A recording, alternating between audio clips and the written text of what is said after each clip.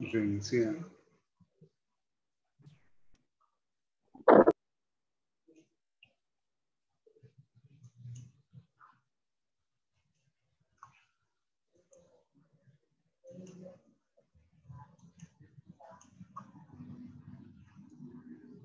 Bien, vamos a ver cuáles son las fases que, de una investigación operativa.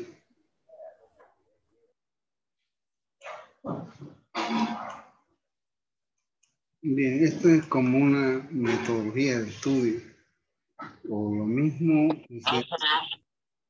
en un proyecto o trabajo de grado. Lo primero hay que definir el problema porque al definir un problema vamos a buscar qué soluciones se le puede dar. Y de las N tesis que he asesorado desde que me inicié en esto, y en este aspecto, eh, cuando ingresé acá a la UPDS, fue algo que aprendí, de que los estudiantes lo primero a elaborar su, sus cinco primeras hojas de su proyecto, tenía que encontrar un árbol de problemas. ¿Cuáles eran las causas y cuáles eran sus efectos? Una vez de que se planteaba el árbol de problemas y se identificaban las causas y efectos, eh, se tenía que desarrollar el árbol de soluciones.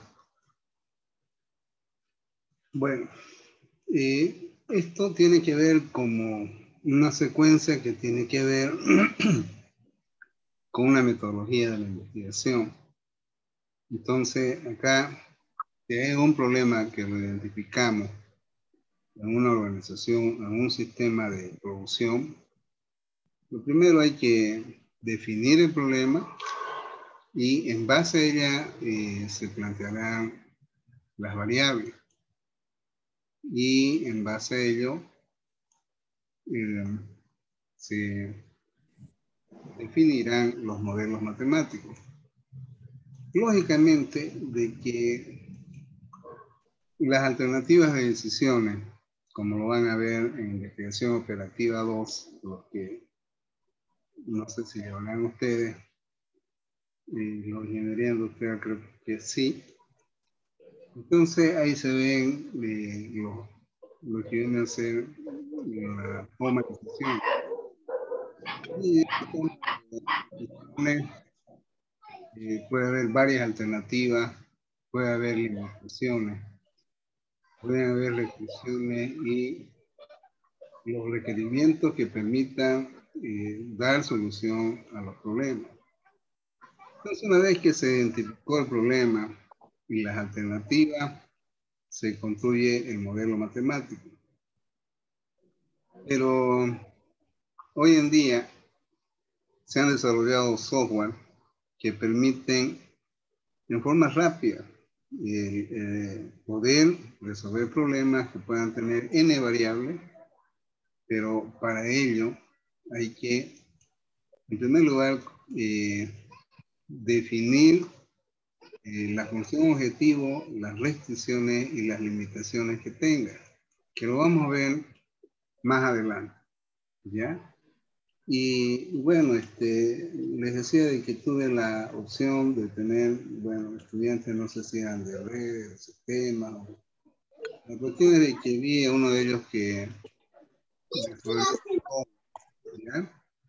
Bien, eh, lógicamente que esto pues ayuda a simplificar el tiempo en que uno puede obtener resultados de forma rápida. Peor cuando son n funciones con n variables. ¿ya? Eh, ya habíamos estado viendo lo que la importancia que tiene la programación lineal. ¿ya? Y bueno, eh, aquí hablamos de lo que viene según que están referidos a eso y actividades. Los que tienen prendido su micrófono, apáguenlo por favor. Hola. Los que tengan su micrófono apáguenlo, por favor. Eso. Bueno, generalmente, ¿qué es lo que maneja una organización? En primer lugar, son recursos que pueden ser monetarios, pueden ser máquinas, personas, todo aquello que, que implica lo que necesita para funcionar. ¿Ya?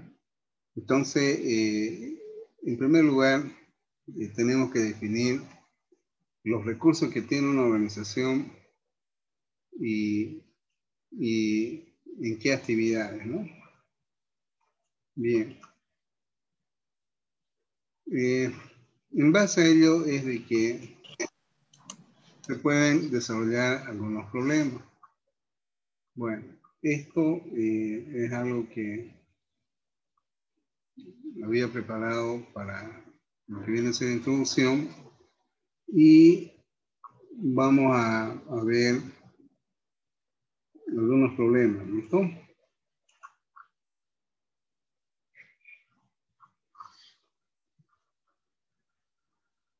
Un ratito, porfa, voy a buscar mi material. Bien. Lo que dice su compañero está bien.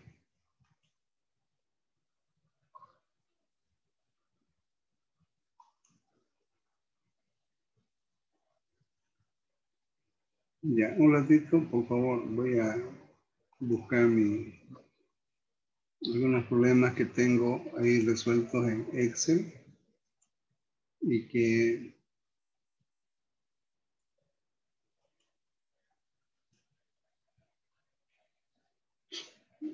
Ya.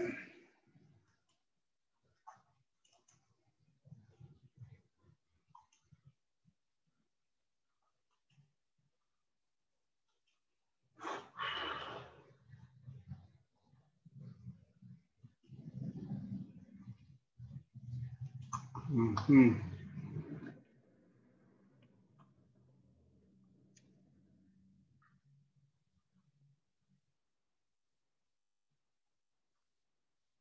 es que no lo tengo en la universidad.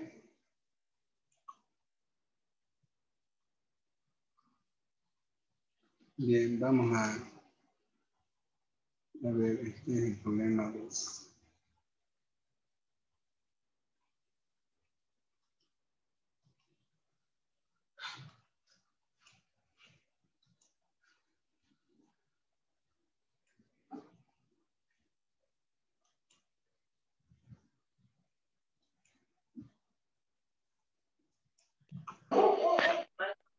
Bien, eh, aquí tengo un problema que resolví en Excel. lo más grave es de que no, no lo tengo denunciado, pero de todas maneras voy a explicar esto. ¿Por qué hablo yo tanto de, de las matemáticas, que es una función y todo ello? Y bueno, más o menos, eh, ay Dios mío. ¿Será que pueden poner sus micrófonos? Porfa. ¿Quién tiene su micrófono abierto? Bueno. Eh, les decía, no lo tengo enunciado, pero yo hablo mucho de, las matemáticas. Eh, por ejemplo, esto se trata de preparar un alimento balanceado, ¿ya? que esté conformado de maíz y de harina de soya. ¿ya? Y dependiendo de cada uno de estos alimentos con los cuales se va a preparar el balanceado, sus componentes eh, del maíz, por ejemplo, es de 0,01 libra de calcio por cada libra de maíz. En el caso de la harina de soya, tiene más calcio que el maíz. La harina de soya presenta más proteínas que la harina de maíz. Y en cuestión de fibras igual. ¿ya? Pero eh, comprar la harina de soya es tres veces más que lo que cuesta una libra de maíz. ¿Está claro hasta ahí? Hola. Sí, sí, sí.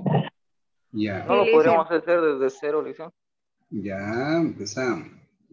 Digamos que yo tengo mi cradero de chancho ahí en Villamonte y voy a preparar mi balanceado, pero yo tengo que tener cierta composición de calcio, proteína y fibra. Pero la harina de soya me cuesta más caro que el maíz. Por otro lado, si nosotros vemos, el maíz tiene 001 ¿En una libra de calcio y la soya tiene más calcio que el maíz. Te delato. ¿Quién, Darling Bazán, que apague su micrófono. quién está con su micrófono? El compañero Darling, bastante Una compañera. Apaguen su micrófono, jóvenes. Aguanten este problema más, por lo menos. Bien. Eh, ya me quitaron la inspiración. Ujú.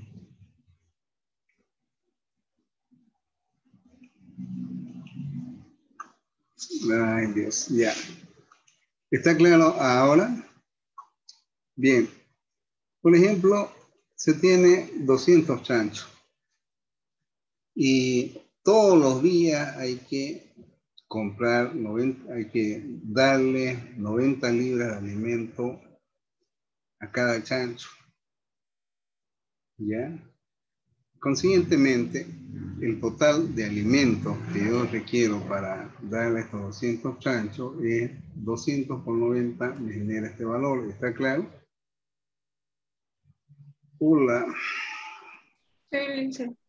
Sí, listo. Hola, profe. sí, claro. Muy bien. Entonces, eh, aquí vemos de que, por ejemplo, ya, si yo eh, voy a, a suministrar eh, maíz que me provee 001 libras de calcio por cada libra de maíz, entonces me está aportando con 18 libras en esta cantidad de alimentos. En proteína, igual, estoy multiplicando 009 por esta, ¿ya? Y lo mismo en fibra. Bien, entonces fíjense acá de que el costo, si yo uso maíz, para proveer eh, este alimento para los chanchos, solamente usando maíz se va a gastar 3.600 dólares por día para esos 200 chanchos. Si se emplea ya, eh, harina de soya, ya, se va a generar este. Entonces, fíjense de que el total, ¿ya? Eh, empleado, digamos, en este caso, vendría a ser esta cantidad de 14.400 dólares. Pero eh, vamos a tener de que esta cantidad eh, nos va a brindar 54 libras que va a tener estos 18 mil libras de alimento, de proteína igual. ¿Listo? ¿Alguna pregunta? Bueno. Eh, entonces, fíjense de que nosotros tenemos acá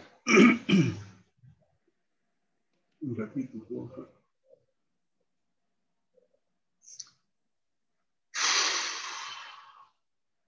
Ya.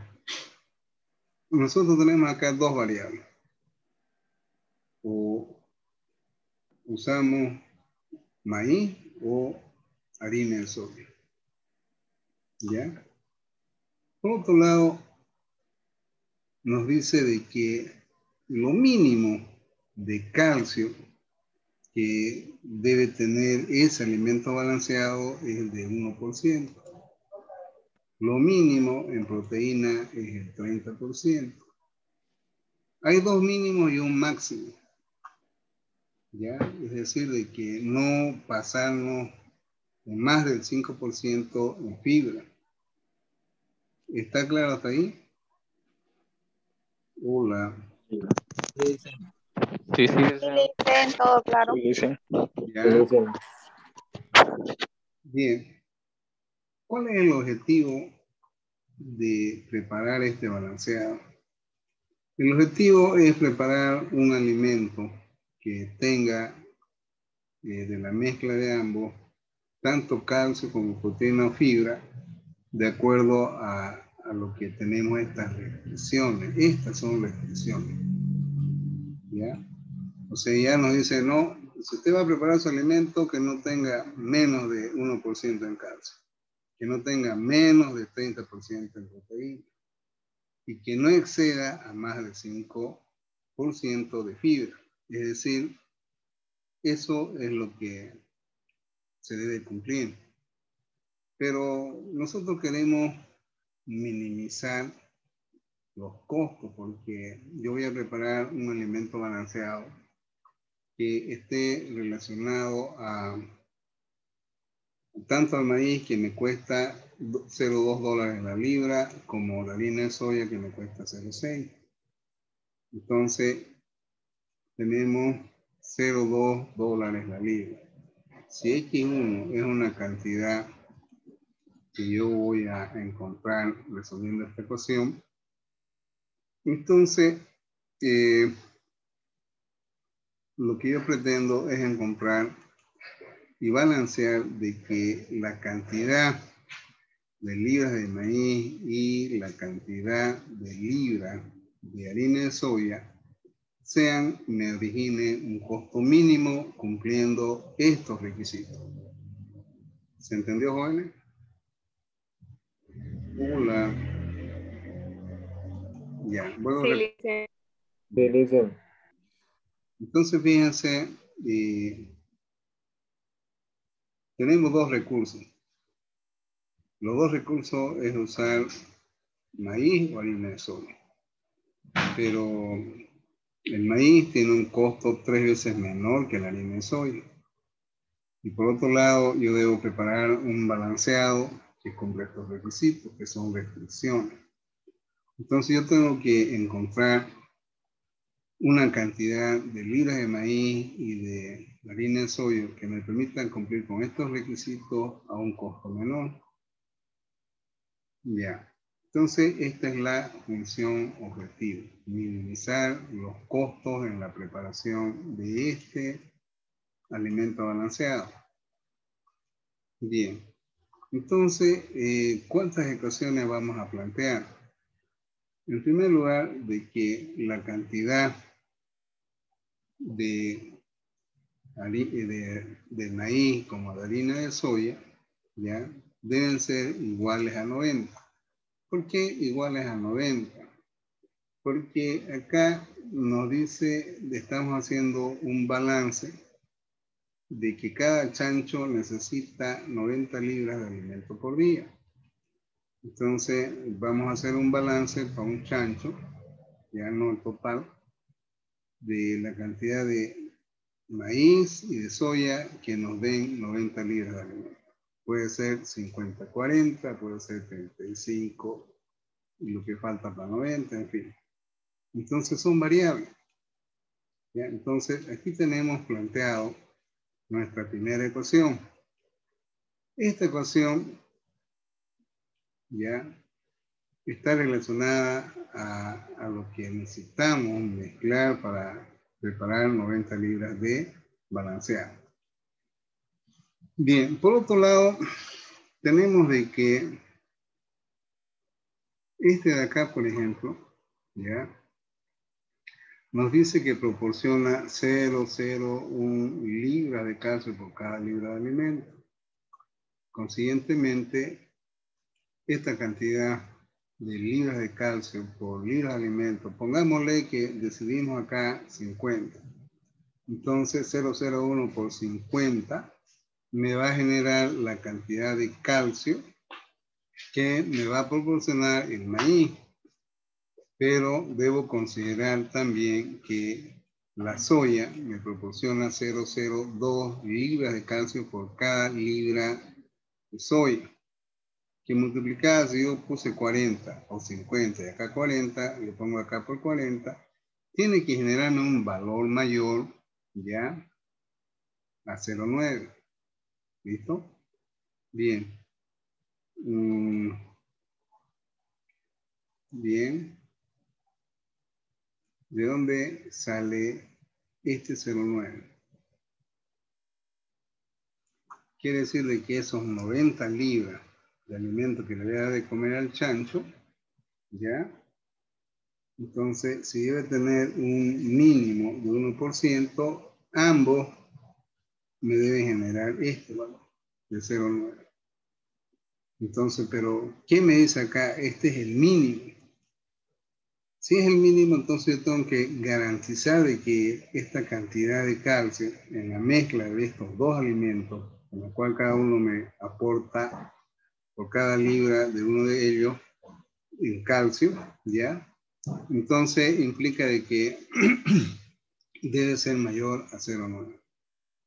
Esto vendría a ser la segunda. ¿Será que está bien que yo diga igualdad? matemáticamente no lo es, porque acá tenemos que es el mayor o igual a 0,9. Entonces, esta es una desigualdad, ¿ya? En cuanto a proteínas, nos vamos al cuadrito, cada libra de, soya me aporta el calcio, bueno, y así sucesivamente. Entonces voy estableciendo mi segunda o tercera ecuación, o, de, o la segunda ecuación restrictiva, estas son restricciones, donde aquí, por ejemplo, eh, esto es lo que me va a aportar en proteína y en tanto la harina como, como la harina de soya, como el maíz, como la harina de soya. Entonces, eh, este valor, ya, el contenido mínimo es 30%. Este 30% debe ser el 30% de proteína mínimo que deben tener en estos 90 libras de alimento que le voy a dar al chancho, a un solo chancho. Bien, entonces esto implica que vienen será de 27 gramos, pero es lo mínimo. Consiguientemente, la restricción acá es mayor o igual. En cuanto a fibra, lo máximo, no, no, puede, no puedo exceder entonces lo mismo. ¿Ya? Y aquí hemos planteado eh, la ecuación objetivo, que es minimizar costo. Lo otro es que para cada chancho tenemos que preparar eh, tantas libras de maíz como libras de harina de soya. De tal manera que cada una de ellas nos aporte en calcio, pero que, sea mayor a 0,9. En el caso de proteína, que sea mayor a 27 libras. En caso de las fibras, menores o iguales a 4 Fíjense, ya tenemos acá una, dos, tres, cuatro ecuaciones con dos variables. Y acá eh, vamos a representar esto y vamos a terminar la clase acá. Ya, un ratito. Eh, bueno, voy a copiar esto. Yo les igual a 90. Uh -huh. Bueno, como ya veo que están cansados y yo también, vamos a hacer lo siguiente. ¿No? Y repito, porfa. Uh -huh.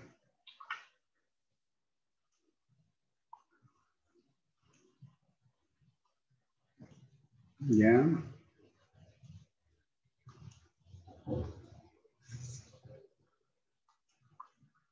Aquí un ratito. A ver. Está el peluche. Bien. Eh, insertar símbolo mayores iguales correcto un ratito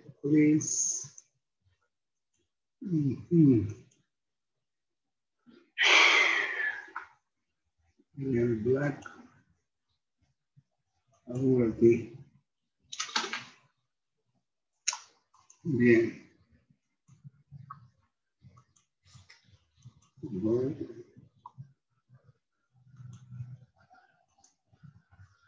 Bien, este de acá es menor o igual. Bien. Entonces, eh, acá, este valor es 90.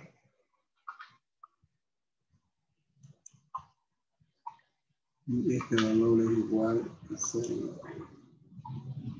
Bueno, ahora sí, ya, ahora acabamos esto. Oh, sí, está bien. Bien, ¿por qué lo copié acá? Es para que ustedes puedan visualizar cómo desarrollamos esta gráfica.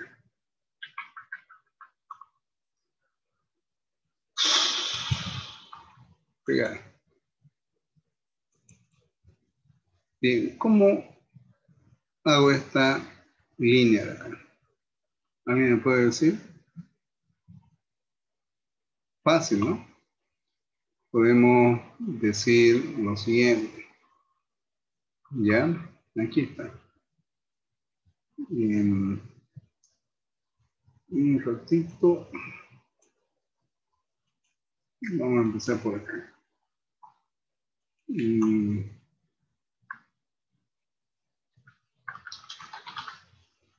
Bien, el alimento debe tener 90 libras compuesta por maíz y por harina. ¿Ya? Entonces, eh, este es X, este es Y. ¿Ya? Eh, si X es 0, ¿cuánto vale X2? ¿O cuánto vale Y? A ver. Bueno, mejor para evitar este problema, vamos a hacer lo siguiente. Llegar. Jugar. Bien. Y acá Bien. Si X1 es 0, ¿cuánto vale X2 acá, jóvenes? Este es 0. 90. Eso. Bien. Bien. Bueno, voy a volver para atrás porque si no está... Y si X2 es 0, ¿cuánto vale X1? 90. 90. Muy bien. Entonces, esta es su gráfica. Oh.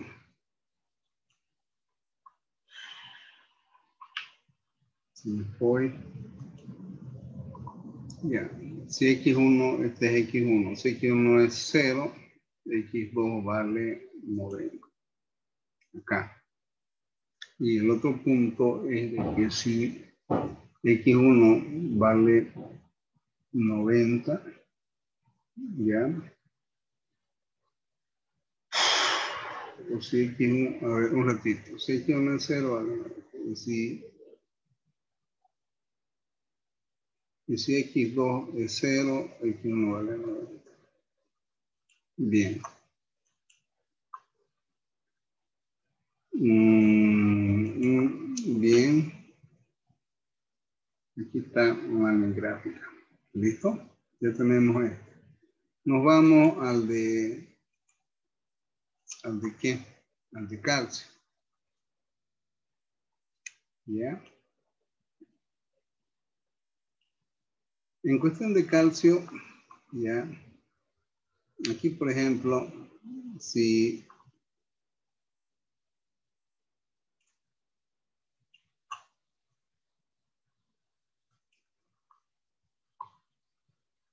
si x1 es 0, este es 0, ¿cuánto vale x2? 0,9 entre 0,02, ¿no es cierto? Fíjense. Ya, por ejemplo, eh, acá es 0,9 y este pasaría a dividir. Ya, entonces, entre este valor, por eso es que le dije voy a copiarlo acá. Entonces, cuando x1 es 0, x2 vale 450. ¿Ya? Bueno, aquí mi, mi gráfica está mal. ¿Ya? Lo voy a rehacer de nuevo. Seguimos. Si x1 es 0, ah, estoy mal. Si x1 es 0, eh, habíamos dicho de que es 0,9 dividido entre 0,01. Está bien. Pero si x2 es 0,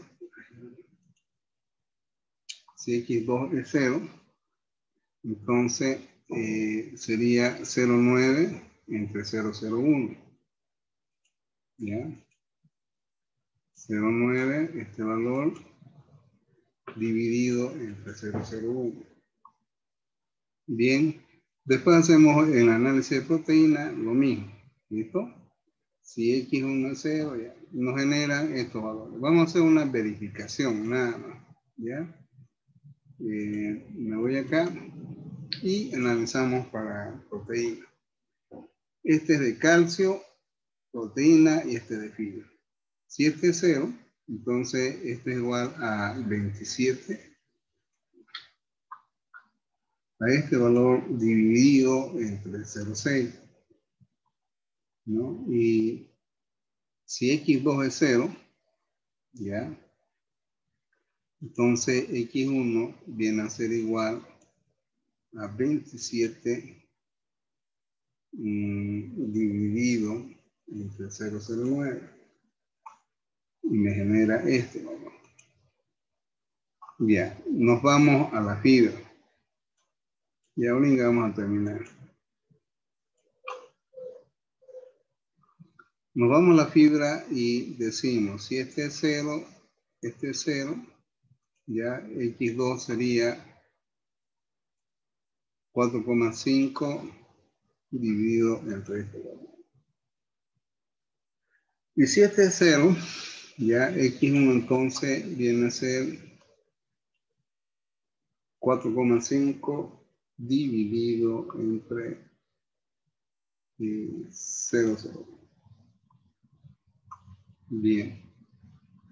Entonces, fíjense, tenemos esta gráfica. ¿Y cómo puedo representar?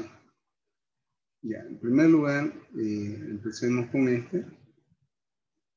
Se agarran y le dan dispersión y tienen estos dos puntos. Ya, entonces ya tienen eh, lo que viene a ser la recta entre estos dos puntos que me representan esta desigualdad. ¿Listo? Bien, ya tengo graficado esto. Y después grafico lo que es de proteína. Bien, ¿cómo hago? Me voy acá, seleccionar datos, navegar, démosle cero y elegimos los valores que corresponden a la abscisa y después a las ordenadas. Ya tenemos lo otro. ¿Qué me falta representar? La fibra. Bien. Entonces, seleccionar datos, agregar mm, y eh, doy estos dos valores y después esto lo y listo. Me faltaría una que, esta de acá, que nos va a salir apenas perceptible, pero lo vamos a hacer. Y con esto vamos a terminar la clase por hoy, porque mañana voy a volver a repetir esto, porque estoy seguro de que van a aparecer mañana nuevos alumnos. ¿Ya? Y no voy a llegar a la solución hoy día, porque, porque mañana otra vez Bueno, me está fallando.